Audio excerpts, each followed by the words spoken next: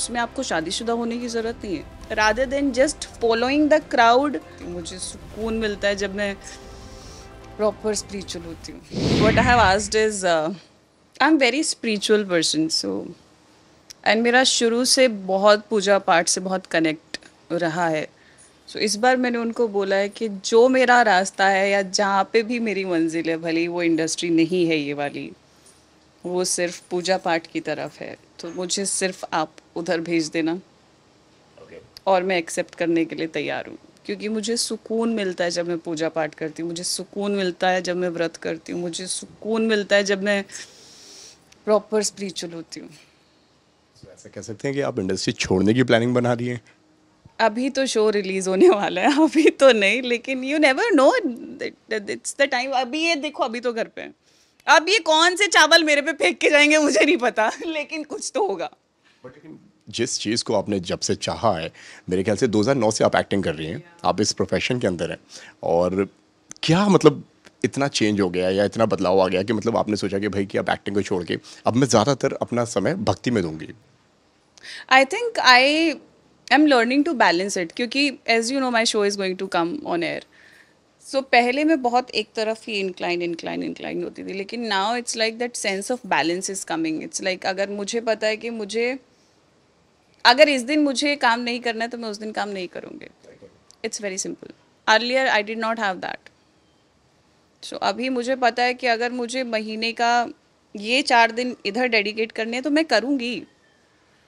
तो I think that sense is coming and I think it is good also so I am not sure if I'm leaving acting industry right now or down the line after. Yeah, yeah, of course. I'm I'm 36. So what do you expect? I'm not going to be Deepika Padukone in like next two years.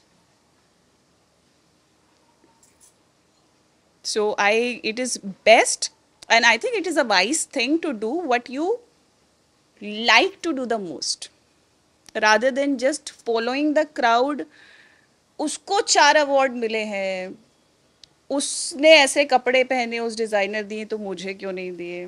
उसकी party में वो गई मेरी में क्यों नहीं आई?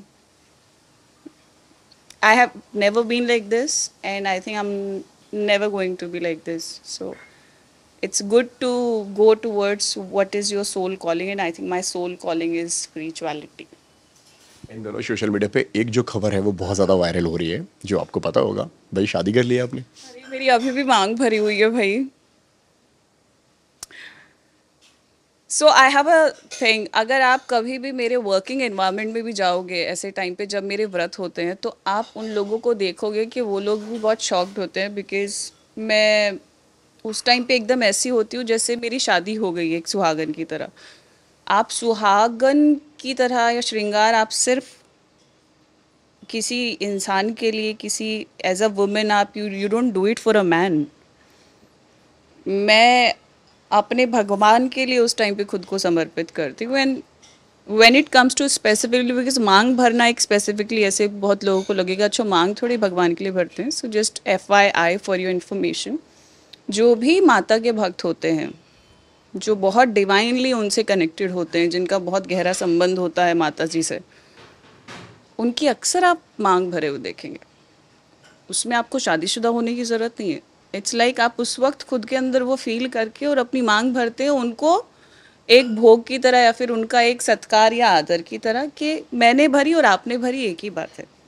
तो ये ऐसा नहीं है इसमें कि शादी हो जाती है। अभी सात दिन के लिए पप्पा बैठे हुए हैं तो बिकॉज़ मैं उसी फ्लो में हूँ अभी, इसलिए मेरी मांग भरी है मुझे अच्छा लगता है। कल को मैं शूटिंग करूँगी, ये मांग नहीं भरी होगी। एंड आजकल तो शादीशुदा भी शादीशुदा नहीं लगते भाई। Have you ever seen like I have never seen anybody who is married and but they, they look like married. Like they they being please don't feel bad and no hard feelings to anybody. I'm not counting anybody specific. But I have seen this. You you have seen this. ये आज शादी हुई है दो दिन बाद उस लड़की का ऐसे लगेगा इसकी तो शादी हुई थी ना पैरों में बिछिए नहीं है सोलह श्रृंगार नहीं है तो पति की निशानियाँ कहाँ हैं where is that where is that तो अगर जिनकी नहीं हुई और उन्होंने भरा तो उसमें क्या प्रॉब्लम है? सब तो हे वाया हो गया ना? So take however it resonates with you I am happy with my sindoor